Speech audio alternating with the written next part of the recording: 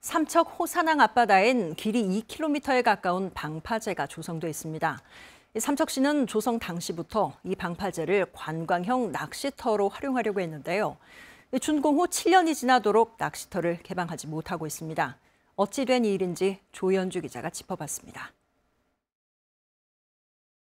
2014년에 준공된 삼척 호산항 해상방파제입니다. 1.8km 길이로 인근 LNG 생산기지와 LNG 운반선 등을 파도로부터 보호하기 위해 한국가스공사가 조성했습니다. 애초 삼척시와 한국가스공사 등은 이 방파제를 낚시터로 활용하는 방안을 추진하고 화장실 등 편의시설까지 설치했지만 낚시터 개방은 지지부진한 실정입니다. 방파제를 관리하는 강원도 환동해 본부는 관련법상 개방이 어렵다는 입장입니다. 방파제가 국가 보안 시설이어서 일반인 출입이 금지되는 데다 안전사고 우려 등이 있다는 겁니다. 하지만 지역 주민들은 방파제 조성 당시부터 의견을 모아 낚시터 운영 시설을 갖춘 만큼 해결 방안을 찾아야 한다고 주장합니다.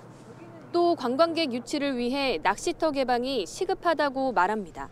지금 같은 경우는 어민들이 상당히 어렵습니다. 낚시터 개방을 하면 엄청난 이제 손님이 오지 않나 그렇게 생각하고 낚시하시는 분들은 오시면 최소 1박 2일을 낚시를 하십니다. 그러면은 어, 체류형 어, 숙박 시설이 활성화가 될 것이고 국가보안시설 지정은 국방부가 국가정보원과 협의를 거쳐 이뤄졌습니다. 결국 낚시터 개방을 위해선 방파제의 국가보안시설 해제가 우선돼야 하는 상황.